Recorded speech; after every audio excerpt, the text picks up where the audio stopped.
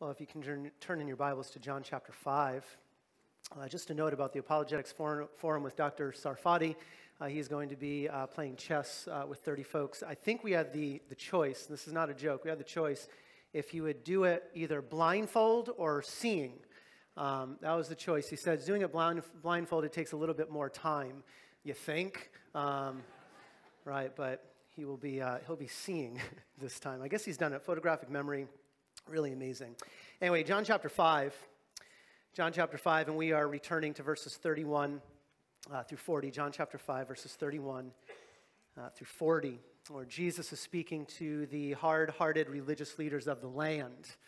Uh, this really is such an important passage, just for the whole purpose of John's gospel. He writes so that we may believe that Jesus is the Son of God. Uh, here is Jesus expressing his sonship, these hard hearted religious leaders. They've rejected his claims. The idea is that they would believe, they're not believing. Uh, we see that even in verse 40 you are unwilling to come to me. So it's an important passage for the skeptic. It's also an important passage for those who already believe. This confirms our faith. This shows that Jesus is indeed who he claims to be. This gives us talking points for that skeptic in our life.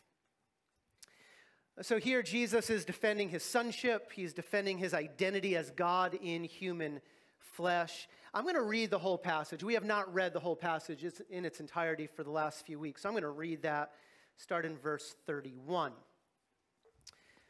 Jesus says, If I alone testify about myself, my testimony is not true. There is another who testifies of me, and I know that the testo- testimony which he gives about me is true. You have sent to John, and he has testified to the truth. But the testimony which I receive is not from man, but I say these things so that you may be saved. He, John, was the lamp that was burning and was shining, and you were willing to rejoice for a while in his light. But the testimony which I have is greater than the testimony of John. For the works which the Father has given me to accomplish, the very works that I do, testify about me, that the Father has sent me. And the Father who sent me, he has testified of me. You have neither heard his voice at any time nor seen his form. You do not have his word abiding in you for you do not believe him whom he sent. You search the scriptures because you think that in them you have eternal life. It is these that testify of me. And you are unwilling to come to me so that you may have life. Here's how we've been unpacking this passage over the last few weeks. We're looking at it like a courtroom scene. That's the picture John is painting for us. 11 times in 10 verses, you have those words testify or testimony. It's all courtroom language, legal terminology. This is defense attorney verbiage. Testify, testimony. And it is here in the midst of this great hostility that Jesus now calls witnesses to take the stand in his defense before his rejectors. Jesus is adhering to the Old Testament judicial precedent. By the mouth of two or three, a case, a matter shall be confirmed. So he's moving from this work of evangelism in verses 19 through 30. I am the Son. Come to me, believe in me, believe my word, believe he who sent me. He's moving from evangelism to now apologetics. He's offering evidence that confirms he is who he claimed to be. He's here the master apologist. Now, we've been working our way through. We've seen the first two witnesses already. The first two witnesses already. Witness number one was in verse 32. The greatest prophet who ever lived. The greatest prophet who ever lived. He takes the stand. This is John the Baptist. He's the eyewitness. He's the forerunner, prophesied in the Old Testament. The last and greatest Old Testament prophet. What's his testimony? What did he say? Chapter 1 I myself have seen, and I testify that this is the Son of God. Look at verse 35. At the very end, Jesus says that even the enemies were willing to rejoice in his message, even for a time. It's just damning evidence against the accusers here. You believed John, you accepted John, yet you reject me. He pointed to me. That was witness number one. We saw witness number two last week the greatest display of miracles ever to be performed. The greatest display of miracles ever to be performed. As strong as John the Baptist's testimony was and is, verse 36, Jesus says, The testimony which I have is greater than the testimony of John. It's greater how? More powerful how? Stronger. Because John's testimony is what one person saw. But now Jesus says, ask the crowds, even ask one another. You've all seen my miraculous works. John chapter 2, you have Jesus who came into Jerusalem around Passover. Remember, millions of people have descended upon the city of Jerusalem during Passover. And it says that he performed signs, many signs. Nicodemus comes to him and says, No one can do the signs which you have done. In fact, Nicodemus' testimony shows that these were indeed true miracles, true miracles. He's healed the nobleman's son at this point. He saved Peter's mother in law from a life threatening fever. He's cast a demon out of somebody in a synagogue. On and on it goes. He's healed a leper. He's told that leper, go to the religious leaders, show them. Show them your skin. Show that it's been restored. You have been healed. And even on this day, this day, he performed a miracle in verse 8, 5 8. Jesus said to the man, lame for 38 years, Get up, pick up your pallet, and walk. Miracle after miracle performed. Witnessing, witnessing that he is fulfilling messianic prophecy, confirming he is who he claimed to be. All have seen it even these rejectors. Again, it's powerful testimony, the greatest display of miracles ever to be performed. We developed that last week. Now, we come to the third and final testimony here. Third and final testimony. Could Jesus have stopped here? Absolutely. Absolutely. Two witnesses, Old Testament, judicial precedents. But no, he's going to bring a third. Why? By the mouth of two or three. It's the greatest legal standard here. So he calls a third witness to take the stand. This is the greatest witness, the most weighty witness. Think of Matlock. Remember Matlock? That was a great show, wasn't it? Matlock. Think of Perry Mason. They all wait till that final scene of the show, right? All you have to do is watch the last five minutes. But the final scene of the show, they call that final witness, that clinching testimony, and all of it seals the case for them. That's what Jesus does here. Look at verse 37. He calls his father to take the stand. Verse 37 And the Father who sent me, he has testified of me. You can't get much stronger testimony, can you? This is the Father. This is the ruler of Israel. This is the creator of the world. This is the very one these religious leaders claim to worship and even lead others to worship. I'm going to call the Father to the stand. On the surface, we might think Jesus is referring to the Father's words at his baptism. Remember, the Father says, This is my beloved Son. Again, that's great testimony. That's not the testimony Jesus is referring to.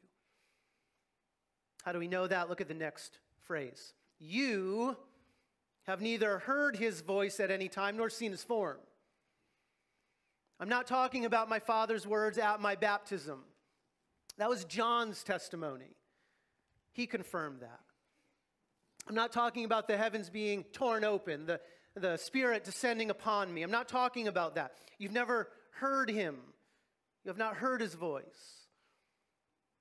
No, the witness here is superior to any audible word from heaven or any vision from God one man might have been given. What's the testimony?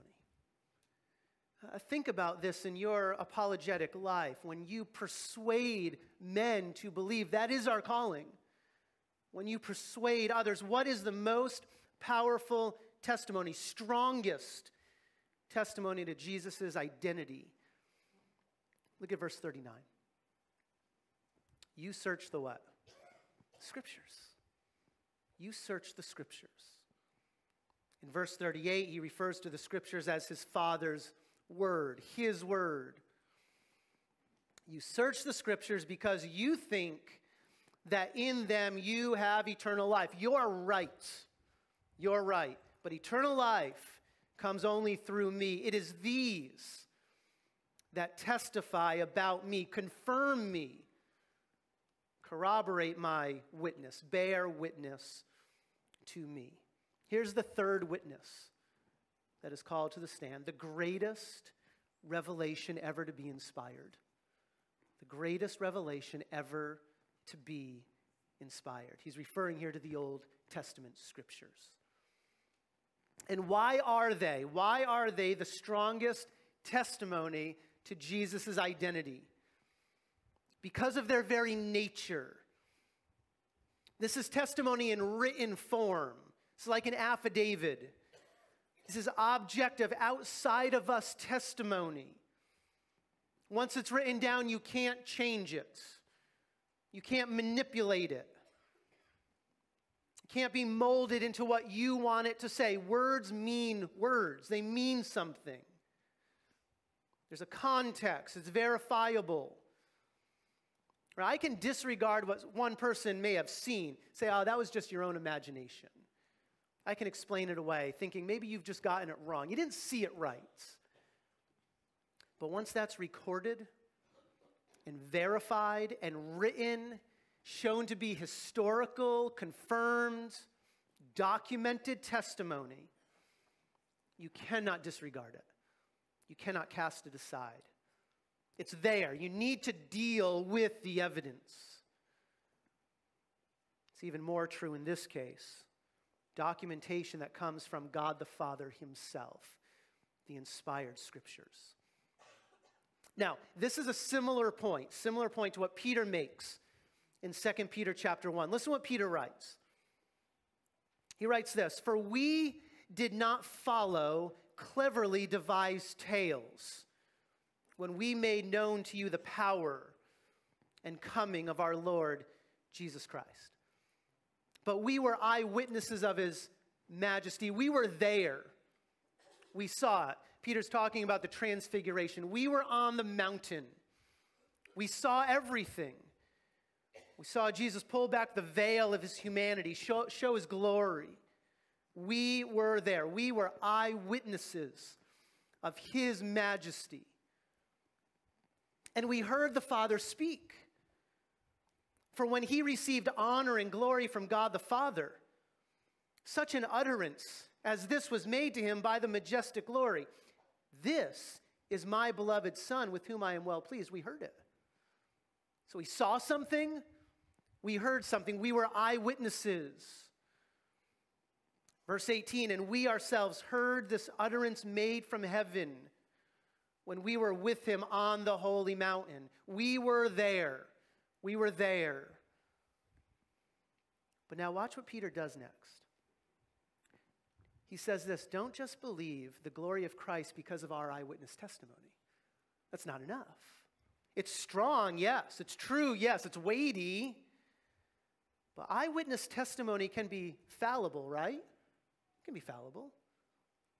So then, why believe the glory of Christ? Why? What does Peter say? Because, verse 19, because we have the what? The prophetic word. That's why you believe this. We have the prophetic word. We have the more sure word of the Father. The inscripturated word. It's been verified, it's been confirmed. And Peter says this, speaking of the prophetic word, to which you do well to pay attention. It's a lamp shining in a dark place. It's confirmed, it's testimony outside of us. It's historical, it's documented. Why is it so powerful? Verse 21. Here's theology now. For no prophecy was ever made by an act of human will. No, it's been breathed out by God. Men moved by the Holy Spirit spoke from God. Don't just believe our eyewitness testimony, believe the scriptures. That's the more weightier, the weightier testimony. It's powerful testimony of the scriptures that identifies Jesus. It predicted him, this prophetic word, predicted him, pointed to him, it pictured him, even prophesied the details of him. And so Jesus says here to these religious leaders, Do you want to know who I am? Do you want to know who I am? What is the greatest apologetic evidence? You need to look to the scriptures. You need to look to the prophetic word. The Father's given that to you. Amazing. These were the guardians of the scriptures. He says, You don't even know the scriptures. You need to look again at them. Now look at verse 37. Verse 37. Notice Jesus says this The Father, the Father has testified. The Father has testified of me testified, perfect tense. Here's what this means The Father has testified me in the past, but that testimony remains now. It's just as powerful now as it was then. He says these are not dead words. The scriptures are not dead words. Right? They're alive, they're convicting words. If there is that skeptic in your life, bring them to the scriptures. How is one born from above? when the Spirit uses His word to change the heart. Bring them to the scriptures. And again, Jesus is speaking to those who are the guardians of the scriptures, at least supposed to be. They interpreted the Old Testament. So here's what Jesus is doing He's entering their turf. Their turf. He's entering their realm of expertise. Let's bring it to courtroom language again. Today, this final witness would be what is called a hostile witness. A hostile witness. It's a witness against the prosecution. A hostile witness should confirm what the prosecution is claiming but doesn't. Hostile witness actually substantiates the defendant's claims. So Jesus is just masterful. I'm entering on your terms, on your turf, search the scriptures. So here's the question we need to answer How does the Old Testament confirm Jesus is the Son of God? How does the Old Testament scriptures testify in Jesus' words about me? What should these religious leaders have known? What should they have recognized about Christ? So we're going to delve into this. 12 Old Testament prophecies. Don't worry, we're not going through all today. 12 Old Testament prophecies that confirm Jesus' identity as the Messiah, Son of God. 12 of them. There's many more. In fact, there's 48 specific prophecies of the coming Messiah, specific. There's pictures, there's others, but 48 specific prophecies. We'll look at 12 of them. Six of these prophecies we'll look at are fulfilled during Jesus' life. And then six will be fulfilled in his death six in his life, six in his death. We'll look at the ones fulfilled in his life this morning, and then next week it makes sense as we prepare for the Lord's Supper. We'll look at those he fulfills in his death. Let's jump right in. What should these religious leaders have known? How do the scriptures testify of Jesus? Prophecy number one. Prophecy number one Jesus' genealogy confirms his sonship. Jesus' genealogy confirms his sonship. There's a reason why there are so many genealogies in the Old Testament. If you're like me, right, back in the day, we would skip over the genealogies, right? Never today. But we would skip over the genealogies. We think, we thank the Lord for them. right? They allow us to catch up on our yearly Bible reading, right? You miss a day and just kind of skip through. We think of genealogies as irrelevant, boring. They're not. They're not. They're there by design. It's so key. Here's the reason for the genealogies throughout the Old Testament they're there because there's a promise that God has given. The promise is in Genesis 3:15. Here's the promise that a seed, a descendant, a son of a woman would one day come, would one day be born. And that descendant, that seed, would crush the serpent, Satan, on the head. It's the first promise of hope in the Bible. This is the proto evangel, the first gospel. It comes in the midst of sin. You have the fall of man. But God, in grace, He promises His creation something. He promises them a seed, a representative, a seed through which mankind would be saved from his guilt, delivered from Satan's grip. The seed through which God would bestow blessing upon the world. The seed who would one day die for his people. The seed who would one day rule in peace and righteousness. The promised Messiah, the promised seed, the promised Son of God. And here's what happens as you work your way through starting in Genesis 3:15 you find this promised seed is progressively narrowed narrowed as the story unfolds. You move to Genesis 9:26. The seed promise is said to come through the line of Shem, Noah's son. Genesis 12, you have the identity of the seed narrowed to the line of Abraham. In Genesis 21 12, the seed is narrowed through the line of Isaac. Genesis 28, the seed comes from the line of Jacob. Genesis 49, the seed comes through the line of Judah. 2 Samuel, you then have the promised seed coming through the line of David, the Davidic covenant. It's the seed promise from Genesis 3. Again, that seed is progressively narrowed. Now, how does this relate to Jesus? Why does this matter? Well, this is exactly Jesus' family lineage. Exactly. So Luke records this in great detail. It's all by design. Luke 3 writes this When he, Jesus, began his ministry, Jesus himself was about 30 years of age, being, here's the key word, as was supposed, the son of Joseph. It looked like he was the son of Joseph but he's not the son of Joseph. What Luke does here is he gives us Jesus' lineage through Mary, through Mary, not Joseph. Matthew gives the lineage through Joseph. But here, Luke is recording the actual human ancestry through Mary. Well, how perfect does this match up? Listen to Luke's genealogy that he gives. Mary is the descendant of Eli. He then skips many generations.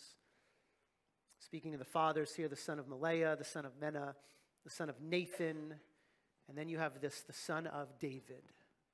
He's just going to work his way back, the son of David. So the promised seed, 2 Samuel 7.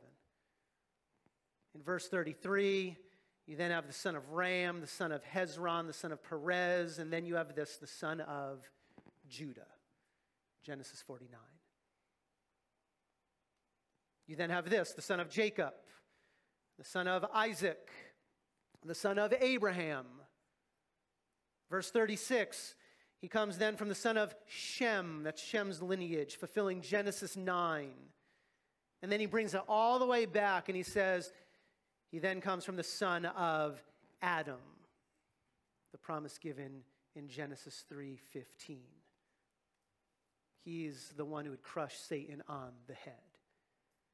And then he ends with this This then is the lineage of the Son of God. He has the right genealogy as the promised Messiah son.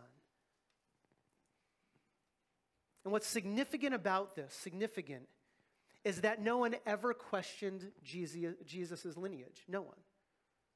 all the religious leaders would have to do is show that Jesus failed the genealogical test. That's it. If he failed that, it's done. He's not the Messiah, he's not the Son. They could have easily showed, showed that Jesus did not have the right genealogy. Why? They kept all of the genealogies. They're all in Jerusalem. No doubt they tried, no avail. And so Jesus says, first and foremost, look to the scriptures. You who hate me, you who reject me, the very scriptures you have been called to guard and protect and interpret, they testify about me. They show I have the right genealogy of the promised Son. In fact, look at verse 46, chapter 5, verse 46 in John. Notice what Jesus says For if you believed Moses, bring it all the way back, if you believed Moses, you would believe me. Why? For he wrote about me, he prophesied about me. You see that all the way through Genesis, the right lineage from Adam to Shem to Abraham to Judah, ultimately through David. All of it confirmed. All of it confirmed. You should know me. You should recognize me. It's the first prophecy. Prophecy number two. Jesus' conception and birth confirms his sonship. Not only his genealogy, but his conception and birth confirms his sonship. As you work your way through the Old Testament, what you find is that this coming seed is a special seed. A special seed. Special not only because of his identity, he's going to share the same nature as Yahweh. That's special. But special because of his conception. His conception. Special seed conceived in a miraculous way. This is the prophecy of Isaiah 7. Isaiah 7. Speaking of this coming ruler, this ruler, the son who would be given to Israel, Isaiah says this Behold, a virgin will be with child and bear a son, and she will call his name Emmanuel, which means God with us. Now, Matthew in chapter 1 picks up on this. He says Jesus' conception birth fulfills Isaiah 7:14. But Luke also refers back to this prophecy. Remember, Gabriel comes to Mary. They have a conversation in Luke chapter 1. Mary said to the angel, How can this be? Uh, Gabriel has said, You're going to conceive. Mary, how can this be since I am a virgin? That's the echo, that's the connection to Isaiah 7. The angel answered and said to her, The Holy Spirit will come upon you, and the power of the Most High will overshadow you. And for that reason, the holy child shall be called what? The Son of God. The virgin conception, necessary, necessary, if the child is going to share the same nature as God the Father. So Matthew connects it, Luke here connects it. But the significant thing is this the religious leaders knew about this conception and birth. They knew the virgin conception of Jesus. At least they knew the report of it. And they rejected it, rejected it.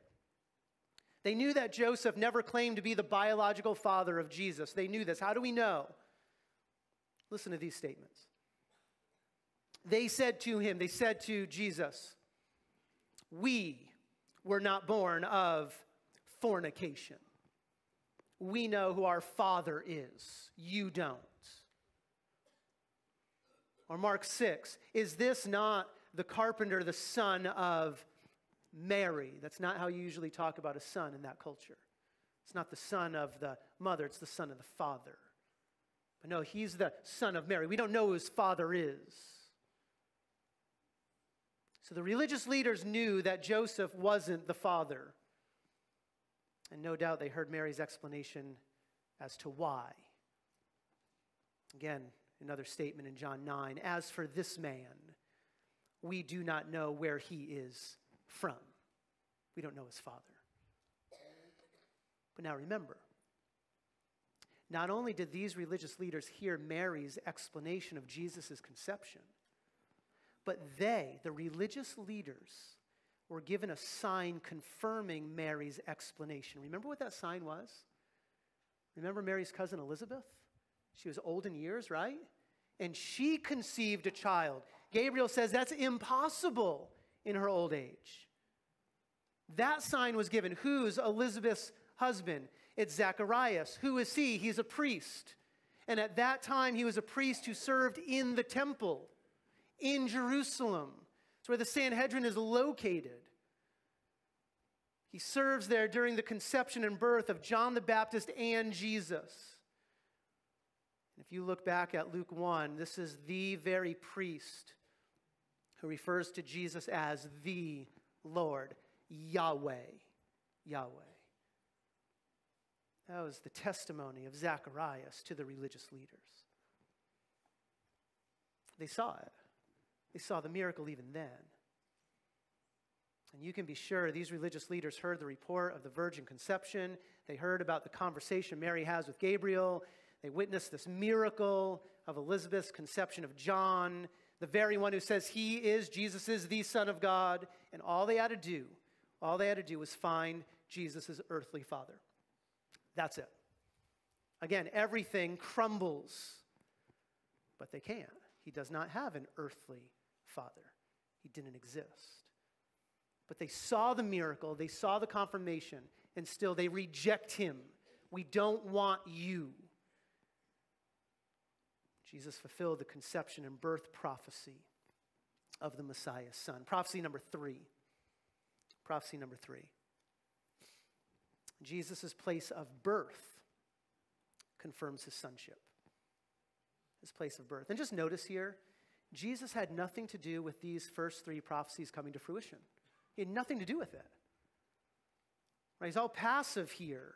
Others are fulfilling these prophecies on his behalf. And it's not just one of these prophecies that confirm Jesus, it's all of them. All of them are true in his life. But the Old Testament is clear. Where would this promised son, this Messiah, be born? Answer the little town of Bethlehem. Why do we sing that song? Because of Micah 5. But as for you, Bethlehem, too little to be among the clans of Judah. It's in Bethlehem. From you, one will go forth for me to be the ruler in Israel. He's going to be born in Bethlehem. And who would this ruler be? This ruler would be none less than God in human flesh. He's born in Bethlehem, that's human nature, but continue the prophecy. His goings forth, the one born, his goings forth are from long ago. How long? From the days of eternity. A special son, a special king. Yes, he will be born, but he's eternal, he's self sufficient. It's an attribute of God alone. Uh, Jesus claimed this for himself. All the way back, or even on this day in John chapter 5, he claimed it back for himself. He said, For just as the Father has life in himself, even so he gave the Son to have life in himself self sufficiency, eternality. And Micah 5 says, This coming Son will be eternal, born yet eternal. And then verse 3, here's the prophecy continuing. Therefore, he, Yahweh, will give them up. Speaking of Israel here, watch. Until the time when she, a specific woman, when she who is in labor has born a child. Who's that woman? That's the virgin of Isaiah 7:14. That's Mary. It's Mary. It's all incarnation language. This child will be eternal God, self sufficient yet born. That's why he's Emmanuel, God with us. But here's the point from Micah 5 the promised ruler's birthplace was clearly identified. Genealogy, the conception, now the birthplace. Called by name. It would be in Bethlehem. And once again, the religious leaders knew this. No question in their mind. Listen to Matthew 2. After Jesus was born in Bethlehem of Judea in the days of Herod the king, Magi from the east arrived in Jerusalem. And they say, Where is he who has been born king of the Jews? Where is he? We're looking for him. We saw his star in the east. We've come to worship him. He's God. When Herod the king heard this, he was troubled, and all Jerusalem with him. So he gathers together all the chief priests and the scribes of the people. These are the people who stand before Jesus on this day. These were the skeptics in Jesus' day, the chief priests. And Herod inquired of them where the Messiah was to be born. Verse 5 They said to him, No delay, no delay. We know, we know the prophecy. They said to him, In Bethlehem of Judea. He, they quote Micah 5. For this is what has been written by the prophet, and you, Bethlehem, land of Judah, you're by no means least. A ruler will come forth. They know where the Messiah will be born, they know where the Son will be given. Uh, turn over to John 7. Look at John 7, verse 42. Not only did the religious leaders know this, the people knew this. John 7 42, you have the people hearing Jesus' words. This certainly is the prophet. That's verse 40. And now, verse 42. Has not the scripture said that the Christ comes from the descendants of David? They know the genealogy. And from Bethlehem, the village where David was. They know this. They know this. Amazing. Jesus should not have been born in Bethlehem. Should not have been born. At least if that was up to Mary, right? I mean, she has a few days to give birth, and here's Joseph's idea I want to take a trip. And you're going to travel by donkey. Mary's like, What have I done with this guy? 70 miles south, they come to Bethlehem. Why? Caesar Augustus issues a decree. If it's up to them, he's not born there. But this is God fulfilling, orchestrating world history for this messianic prophecy. He was born in the prophesied place of the Messiah's son. And then you move into Jesus' life. That's all before Jesus is even born. Now you're in his life. We have a fourth prophecy Jesus fulfills. Prophecy number four. Jesus' miracle power confirms his sonship his miracle power. We looked at this last week.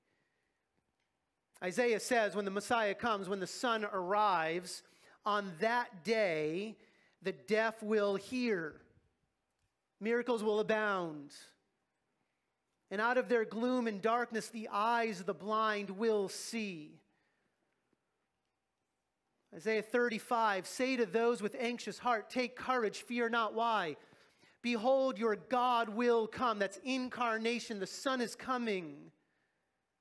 How do you know when he arrives? Verse 5 The eyes of the blind will be opened, the ears of the deaf will be unstopped, the lame will leap like a deer. We see Jesus do that. We see Jesus do that on this very day. He fulfills that prophecy with the lame man. It's happening right in front of the religious leaders, yet they are unwilling, unwilling to come to him. They don't want that Messiah. Jesus says, Look at the scriptures. Look at the scriptures. They testify of me. Nicodemus confirmed it in chapter 3, verse 2. Nicodemus, the teacher of Israel, says, No one can do these signs unless God is with him. Now look over at John 11. Watch this. John 11, you have the religious leaders. This is after Jesus resurrects Lazarus. Look at verse 47, John 11, 47. Therefore, the chief priests and the Pharisees convened a council. The very ones who reject Jesus in John 5, they convene a council and they say, what are we doing? What are we doing? For this man is performing what? Many signs. They've seen it, they confirm it. Verse 48 if we let him go on like this, all men will believe in him. We can't let that happen. Why? What's driving them? It's this the Romans will come and take away both our place and our nation. We want to be in charge. We don't want the ruler to reign over us. Again, Jesus says, Look at the scriptures.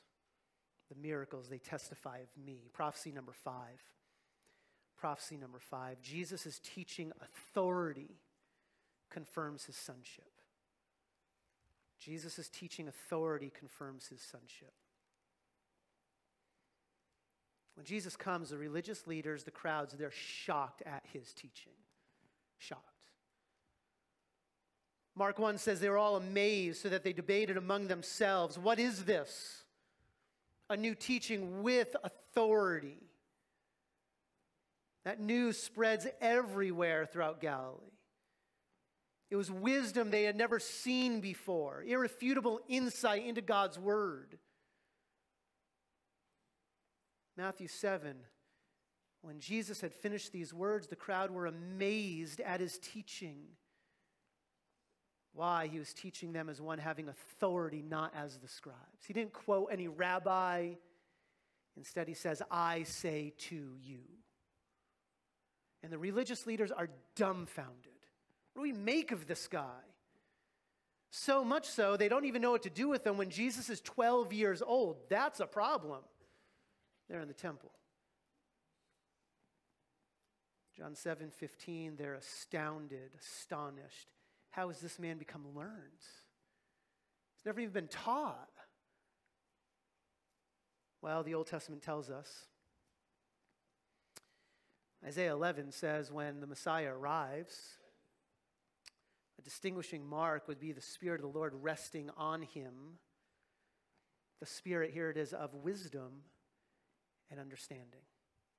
He'd have the Spirit of counsel, the Spirit of knowledge. He would teach as no man ever taught.